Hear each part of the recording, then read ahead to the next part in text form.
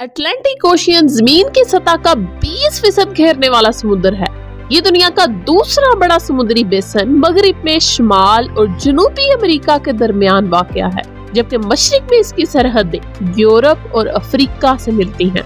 हमारी ज़मीन का 29 परसेंट वाटर सरफेस इसी समुद्र पर मुहित है, जिसका total volume 310 million cubic kilometre है। जबकि एरिया 106.5 मिलियन स्क्वायर किलोमीटर है। इट मींस ये रशिया से छह गुना बड़ा है जबकि यूएसए से दस अशारिया आठ गुना और ब्राज़ील से करीब 12 गुना बड़ा है।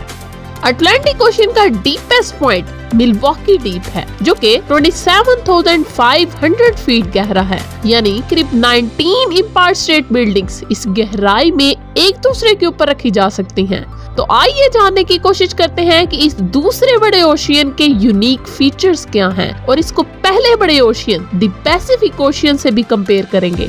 But before starting subscribe the channel so that you can watch more informative videos so let's start Pacific ocean Atlantic ocean की नस्बत 59 मिलियन स्क्वायर किलोमीटर बड़ा है। ये साइज़ डिफरेंस कॉन्टिनेंट्स और कंट्रीज़ के साइज़ पर बहुत ज़्यादा असरअंदाज होता है। हत्या के इनके जियोलॉजिकल फीचर्स भी मुख्तलिफ़ हैं और इनमें पाई जाने वाली स्पीशीज भी। अटलांटिक ओशियन का पानी पैसिफिक ओशियन की नस्बत गर्म होता है तकरीबन 17 डिग्री सेल्सियस तक। इसके अलावा पैसिफिक ओशियन अटलांटिक ओशियन की नस्बत बहुत गहरा है। तकरीबन 3970 मीटर ज़्यादा गहरा है। जबकि चौड़ाई के लिहाज से पैसिफिक ओशियन निस्बतन काफ़ी चौड़ा है।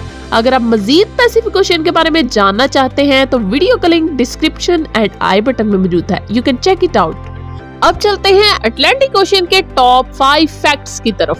नंबर वन अटलांटिक ओशियन का पानी तमाम बड़े ओशियंस की निस्बत नमकीन है।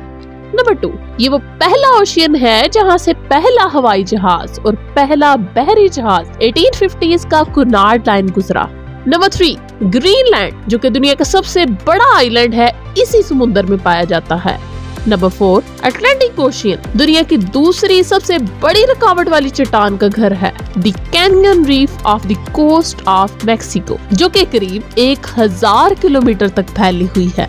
नंबर फाइव इस सबसे बढ़कर नॉर्थ अटलांटिक ओशन में पानी के नीचे पहाड़ी सिलसिला पाया जाता है, जिसे मिड अटलांटिक राइज या एमएआर के नाम से जाना जाता है।